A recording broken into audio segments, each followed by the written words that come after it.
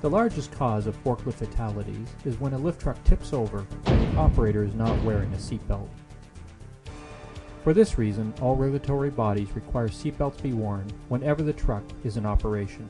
The innovation of the new safe belt can effectively alleviate all issues surrounding operators not properly wearing their seatbelts.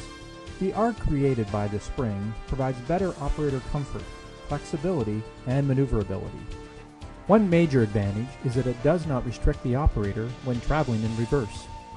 The safe belt does not restrict the operator from getting off or on from the right side. The safe belt cannot be fastened around the back of the seat or sat on to avoid wearing it.